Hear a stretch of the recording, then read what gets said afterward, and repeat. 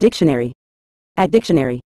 In a general sense, curing refers to the process of treating, alleviating, or preserving something to achieve a desired state. This term is often applied in various contexts, including healthcare, where it denotes the actions taken to remedy or relieve the symptoms of an illness. Additionally, in areas such as food preservation, curing involves techniques like salting, smoking, or drying to enhance flavor, texture, and longevity. In a broader sense, curing can extend to the resolution of problems or challenges through systematic and purposeful actions, emphasizing the intentional process of improvement, healing, or development in diverse fields and situations.